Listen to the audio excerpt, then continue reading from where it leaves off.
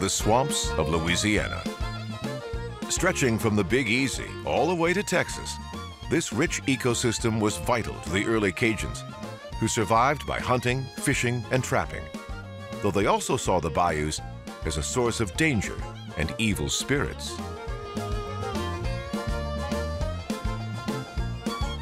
Today, the swamps are home to flocks of white egrets,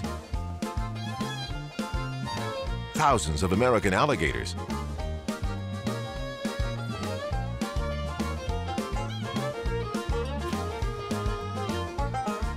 and forests of bald cypress, which fend off rot with the oil in their trunks.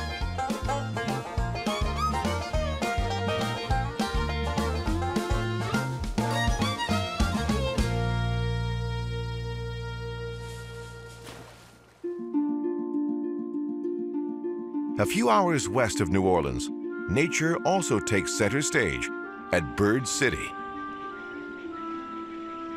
A nesting spot for 20,000 birds, including snowy and great egrets, blue herons, wood ducks, and geese.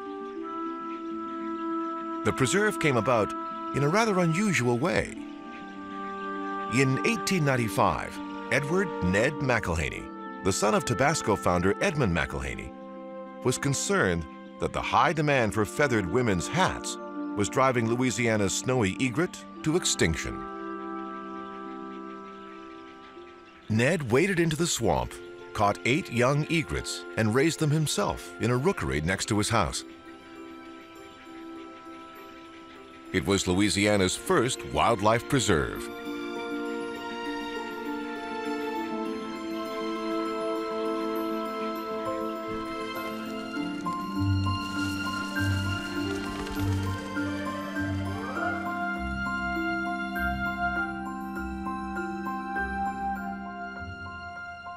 Another bird lover created an American masterpiece thanks to Louisiana.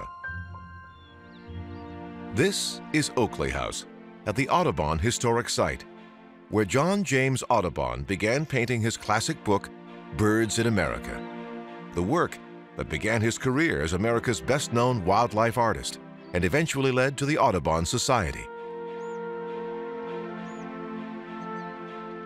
He came here in 1821 to teach drawing to the plantation owner's daughter.